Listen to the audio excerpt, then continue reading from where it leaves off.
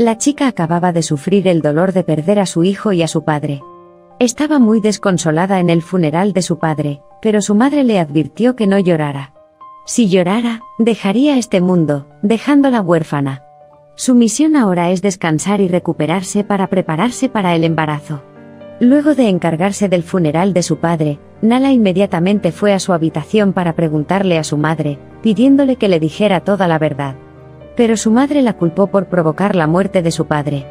Al ver la partida de su madre, Nala también comenzó a dudar de sí misma. Ya estaba sufriendo un gran shock por el repentino fallecimiento de su padre, ahora combinado con las críticas de su madre, provocando que colapsara por completo. Al ver a toda la familia celebrando una fiesta, Sedat tuvo hambre y fue a buscar comida. Su madre le advirtió que lo que tenía que hacer ahora era consolar a su esposa, no venir aquí a buscar comida. Sedat fue a su habitación para consolar a su esposa, y también comparó la muerte de su suegro con la tortuga que crió cuando era niño. Aseguró que después de tres días su esposa volvería a la normalidad. Nala lo regaña, en el funeral de mi papá, ni siquiera derramaste una lágrima. ¿Te estás burlando de mi papá por no ser igual a una tortuga? La madre aún mantuvo una actitud condescendiente, pero luego de regresar a su habitación, rompió a llorar. Ella pensó que podría evitar que su marido dijera la verdad, pero sus palabras acabaron con la vida de su gentil marido.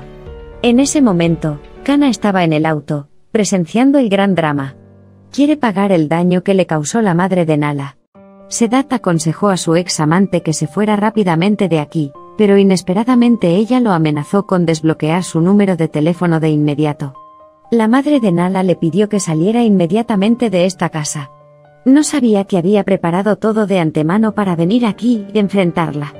Kanan dijo que las reglas del juego esta vez las decidirá ella, porque descubrió el secreto de que Nala no es su hija sino su nieta. Nala salió corriendo y vio a su madre perdiendo los estribos.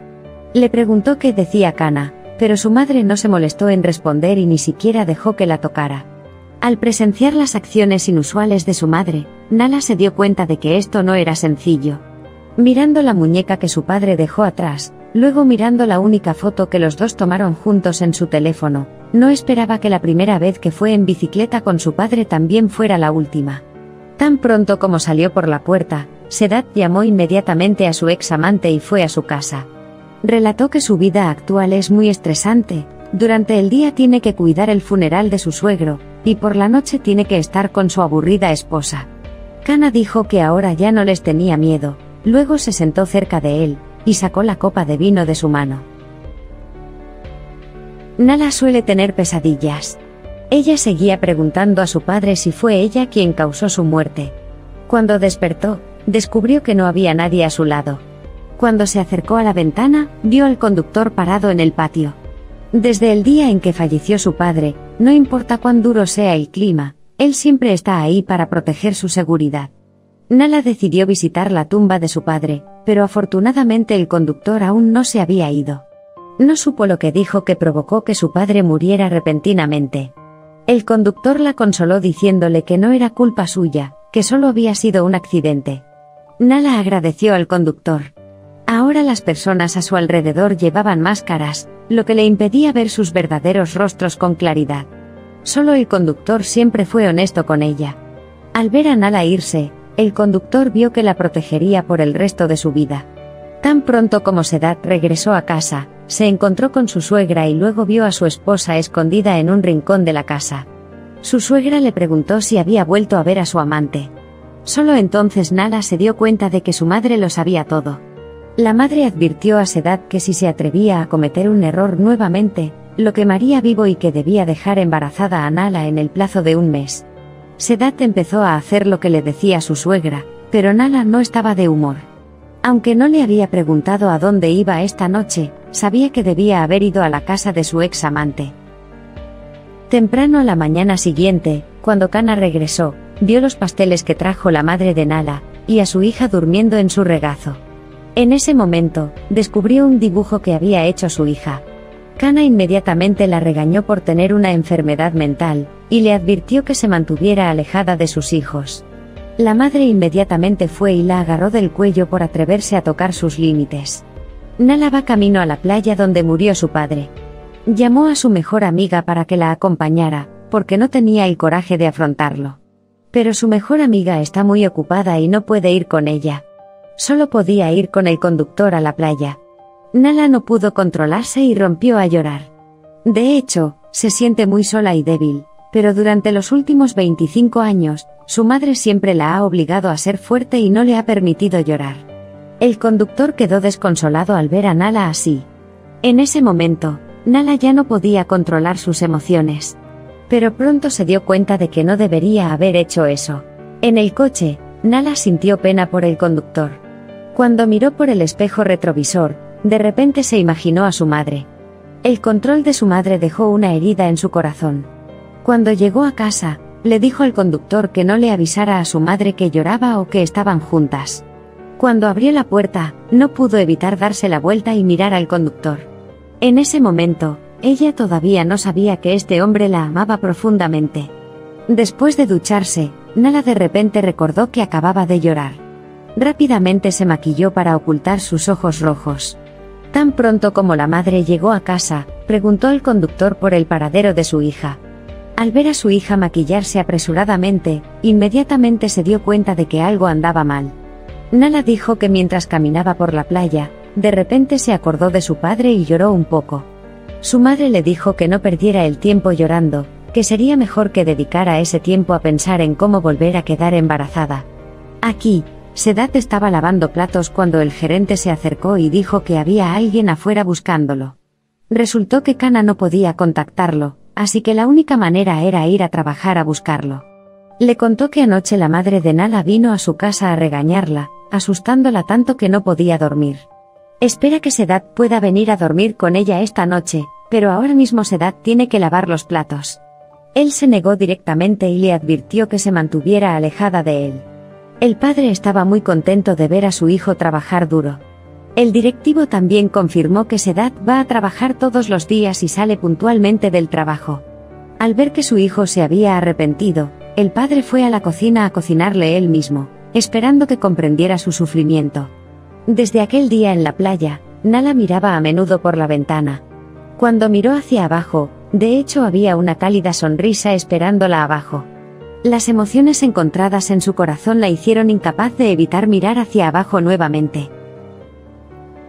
El hermano tenía dolor en el hombro, y se encerró en su habitación todo el día.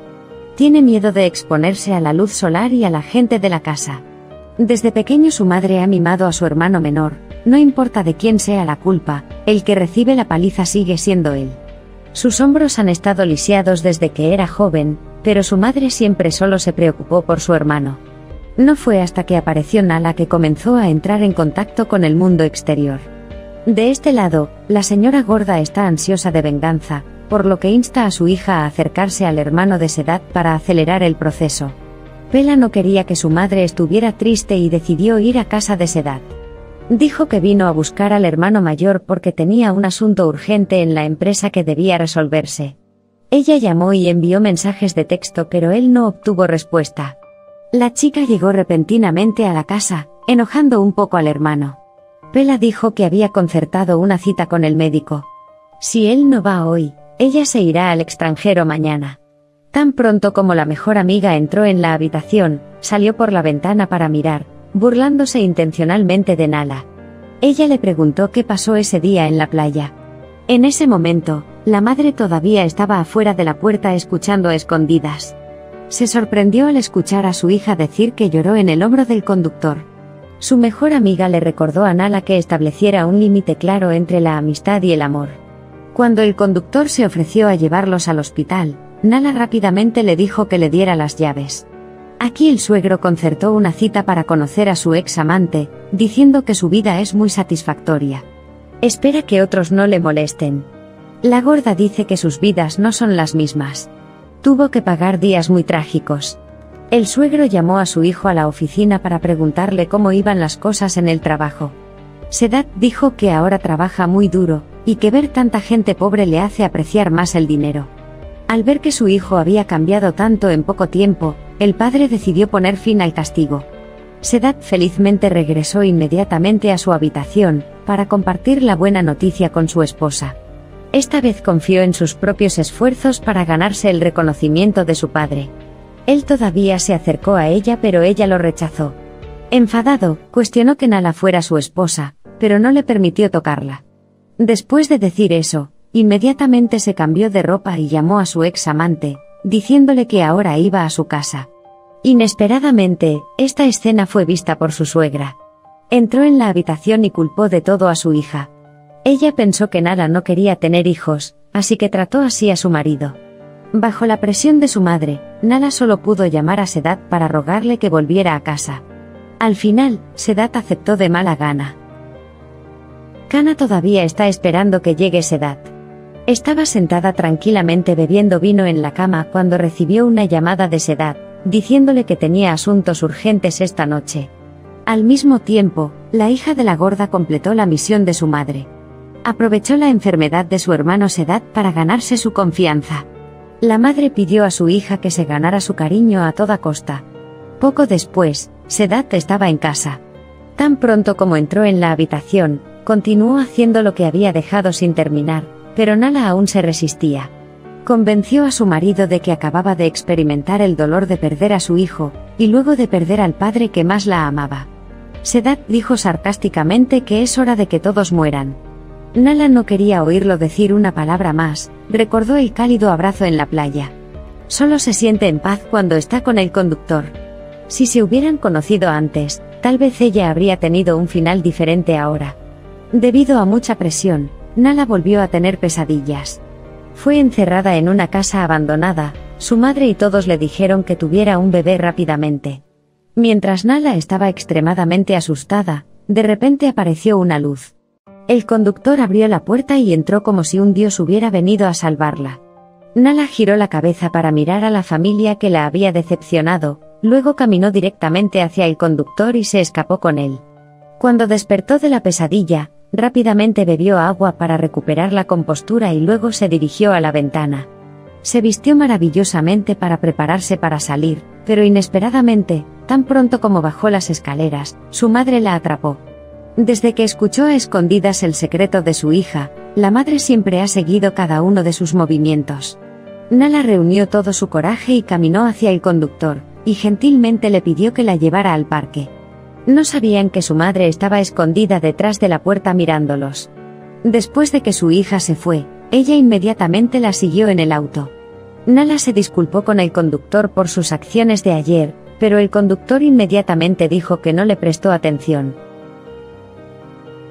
Después de someterse a varios tratamientos, el estado del hermano tuvo muchos cambios positivos.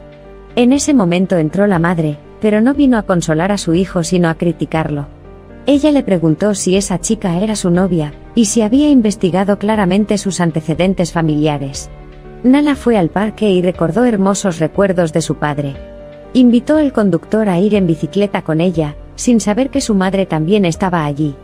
Nala y el conductor se asustaron mucho cuando escucharon que su madre llamaba.